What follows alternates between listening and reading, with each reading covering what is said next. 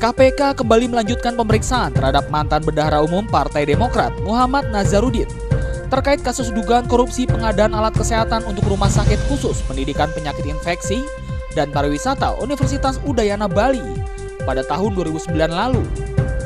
Pemeriksaan Nazar kali ini sama dengan pemeriksaan Selasa kemarin, yakni diperiksa sebagai saksi.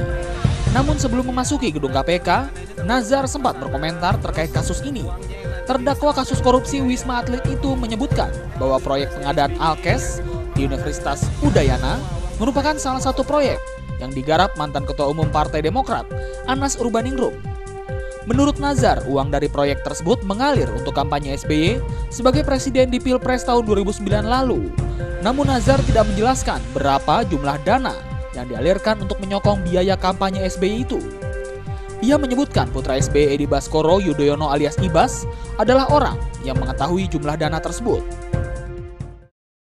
Terlibat ke bang bang Ibas bang? Itu cuma proyek-proyek lain tuh.